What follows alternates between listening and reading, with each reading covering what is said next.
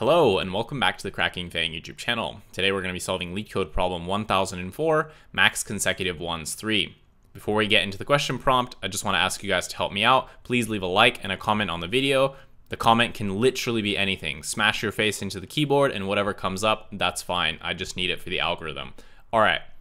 Given a binary array nums and an integer k, return the maximum number of consecutive ones in the array if you are allowed to flip at most k zeros.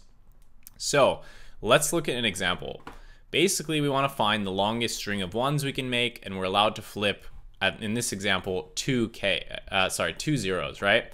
So we could flip these two, this one here and this one here, and then we would have a length of what? So if these become ones, then this would be five. So that is one potential answer. We could flip this one and this one, and then we would have what?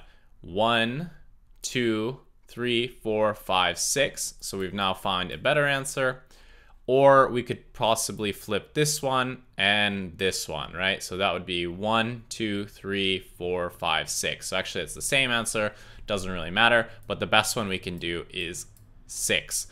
So problem is pretty straightforward. I mean, looking at it, you can kind of figure out what to do, but solving in code is actually really, really straightforward. This problem is probably more of a medium, um, but it's ranked as a, sorry, it's more of an easy, but it's ranked as a medium. Anyway, let's think about how we can solve this. What we want to do is we want to go through our array from left to right. And what we're going to do here is we're going to take a greedy approach. We're going to, every time we see a zero, we're going to take it, right? And so if it's a zero, we need to decrement our k by one, obviously, um, because we're taking it. And when we get to a point where k is actually less than zero, that means that we've taken too many.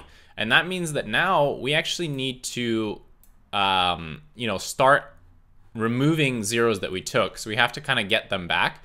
And the way that we're going to do that is we're actually going to move uh, one of our pointers um, up. So this is going to be a two pointer approach where the right pointer kind of goes fast and finds the zeros that we can flip. And the left pointer is going to wait until we get to this k uh, less than zero. And then it's going to move up because obviously we have to now move our pointer up. And as soon as we get a zero, now that we're you know less than our budget because we've used up all of our k, if we see a zero, we basically have to add it back so we can pretend like we're not taking it anymore so we can take a future k. And at every iteration, basically, if we have available k, then we're just going to keep track of our maximum.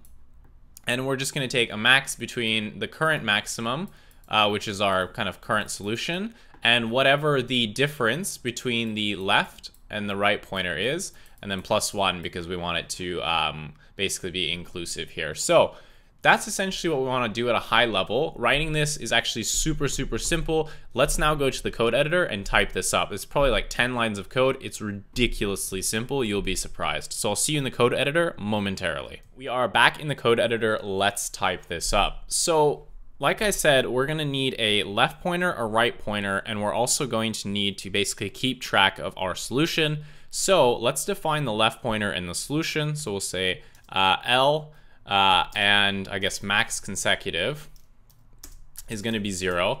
And the right pointer we're actually going to get by uh, iterating over the array. So we're going to say for right num in enumerate uh, nums. And what this is going to do, it's going to give us the index, which is going to be our right pointer and our number. Uh, so that way we don't have to extract it. We can just use um, the Python enumerate function here and make our lives a little bit easier. So what we're gonna do now is we're gonna say k minus equals one minus num, right?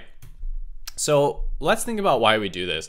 What's gonna happen when k equals one? Well, when k equals one, obviously one minus one is zero. So nothing's gonna happen to k, which is what we want to happen, right? We don't care about ones, we only care about taking zeros. But if it was a zero, right, if k equals zero, then that means that one minus zero is going to be one, right? So we're gonna be subtracting one from k whenever it's a zero. So this is just a little trick to basically you know, take our um, num and we don't actually have to check whether it's zero or not. We can just do the subtraction and this way we can do it in a one-liner. So now remember, if k is actually less than zero, then that means that we've taken too many zeros and we need to start actually um, giving some of them back. So we're gonna say if k is actually less than zero, oops, less than zero, what we're gonna do here is we're gonna do the opposite of what we did when we're taking. So we're gonna add to k 1 minus nums of L. So we're gonna check whatever the left pointer is, and we are essentially going to see if it's a zero, we're going to try to, um, you know, give it back. Otherwise, if it's a one, we don't do anything, right? Because we can only give back when it's a zero. So if it's a one, we can't do anything about it. So if, um, you know, and then we're just going to move the left pointer up because we need to move the left pointer up so that way we can uh, find more of these values that we have, right? The zeros that we flipped. So we need to move the left pointer up. Otherwise, if we still have things in our budget, then we want to actually check whether our solution is, um, you know, one of our best solutions. So we're going to say max consecutive. It's going to be the max of whatever the current max consecutive is, uh, and right minus left plus one. So this is going to be essentially um, how many indexes are between the right and the left. And that way we can count actually the length of our consecutive ones here. And once this for loop ends, whoops, uh, once this for loop ends, all we need to do is return max consecutive, and that is it. So let's just run this, make sure we didn't make any stupid. Yeah, of course I made a stupid syntax mistake. Uh, this should be one minus nums of left. Uh, I guess that's why I run it. Luckily, it's not a real interview. Uh, let's submit this. And did it get accepted? I think so. Yeah, okay, accepted. Perfect. All right, so let's go back to the problem and now think about the uh, time and space complexity. This one is also super simple. So time complexity wise, it's going to be big O of n because as you can see, all we're doing is moving the right pointer up through the array. So we go one time from left to right. Um, none of the operations here we do uh, are anything but constant time. Obviously, subtracting a value is constant time, looking up a value is constant time, taking the maximum is constant time. So it's just big O of n for the time. For the space, as you can see, we don't have any variables except for these kind of pointer variables, the left and max consecutive, but those are just constant space allocations. So our space is big O of one. So there you go, big O of n for the time, uh, big O of 1 for the space, and this is the absolute best you can do. You can't really improve on this. There's no way to apply like a binary search here because the list isn't sorted. Um, not that that would matter. Anyway, that is the most optimal solution. And like I said, it's super simple. It's like 16 lines of code. And look at all this white space here. You could probably even uh, take it down. So that is how you solve max consecutive ones. Hopefully you enjoyed this video. This problem is relatively straightforward. Maybe if you don't see the trick, it might trip you up, but once you see this trick once, you'll never have problems with this uh, question again. So hope you enjoyed this. If you enjoyed the video, please leave a like and a comment. Like I said in the intro, it really helps me with the algorithm. I swear to God, you can literally just mash your face into the keyboard and whatever pops up, leave it as a comment. Google will think it's uh, a comment and it helps with the algorithm. Subscribe if you want to see more content like this.